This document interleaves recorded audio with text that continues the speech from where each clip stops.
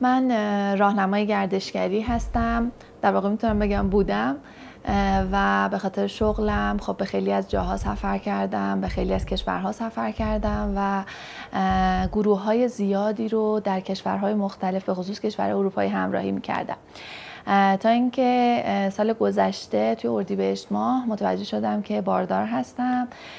و خب خیلی ما خوشحال شدیم از این اتفاقی که افتاده بود و خدا تورنج کوچولو رو به ما داد که الان چهار ماه و نیمشه. توی اردی بهش یه دو سه هفته بعد از اینکه متوجه شدم که باردار هستم یه توری داشتم و سریع به آژانس خبر دادم که نمی‌تونم این تور رو برم. به خاطر اینکه تجربیاتی که شنیده بودم از دیگران خیلی تجربیات خوبی نبود از سفرهایی که به عنوان توره و شما راهنمای سفر هستین چون خب مسئولیت سنگینی روی دوش آدمه به عنوان راهنما. اما خب نمی‌تونستم سفرم کنار بذارم به خاطر اینکه خب سال هاست بیشتر از ده ساله که من در سال نمی‌دونم شاید بیشتر از ده تا سفر می‌کردم هر سال و نمی‌تونستم یک دفعه متوقف بکنم اینو. و وجود اینکه دکترم خیلی موافق نبودن با اینکه سفر بکنم اما چند تا سفر رفتم ولی سفرهایی که یه مقدار کنترل شده بودن.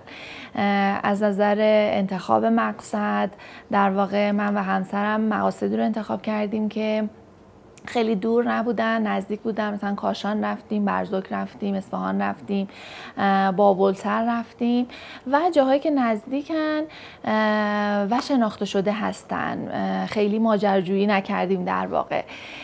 و توی سفرم خب به نظرم خیلی روحیم عوض می شد به خاطر اینکه وقتی آدم عادت داره به اینکه سفر بکنه اینکه یه دفعه متوقفش بکنی این یه جوج منو پژمرده می کرد و حس می کردم که اگر سفر بکنم با وجود ریسک ریسکی که داره خب روحیه منو بهتر می‌کنه که خب این توی بارداری خب خیلی مهمه.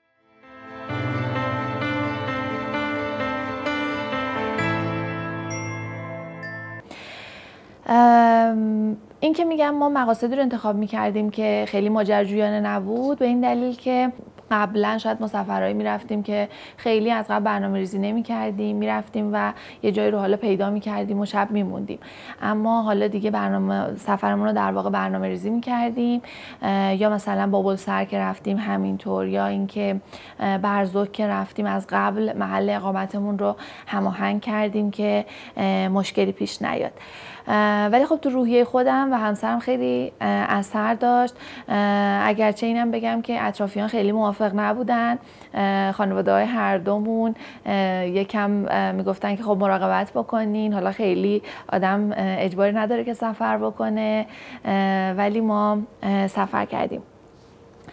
تورنج کوچولو هم از همون موقع همراه ما بود. البته اون موقع من حس نمی کردم خیلی که الان یه بچه همراه ماه و سفرهایی که بعدا داشتیم با تورنج خیلی بیشتر بهمون خوش گذشت. ولی خب تورنج کوچولو هم از سه ماهگی سفر کرده. سه ماهه که من باردار بودم.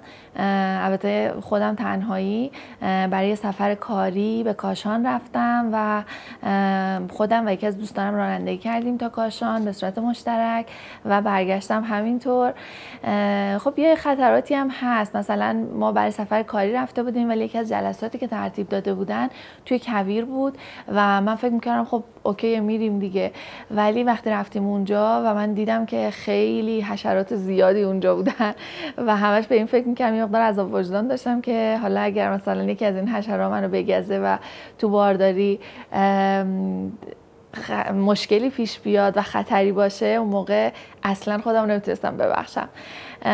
بعد از اون دیگه خیلی سفرهایی که از قبل برنامهش رو نمی‌دونستم نرفتم.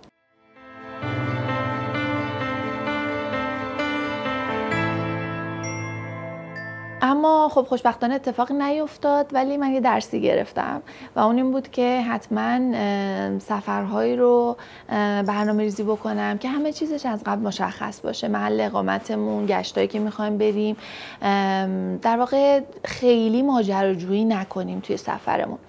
بنابراین سفر بعدی که برنامه ریزی کردیم اصفهان بود که خب اقوام اونجا بودن و به عنوان مثلا یه زن باردار خب احتیاج هست که شما نیم روز حتما استراحت بکنی. اصلا بدنت احتیاج داره به اینکه مثلا صبح دیرتر بیدار بشی بخوابی یه مقدار. و غذاهای خاصی باید بخوری. خیلی شاید نشه غذاهای بیرون رو خورد. یه مقدار خب مراقبت لازمه. یا مثلا اگر که ویار داشته باشی خب من یه مقدار به بوهای به یه سری از بوها. عزیز ماما. جانه به یه سری از بوها خب یه مقدار حساس بودم.